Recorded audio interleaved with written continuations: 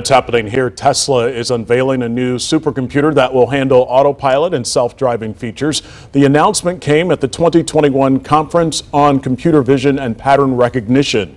The computer, the computer is set to be the fifth most powerful in the world.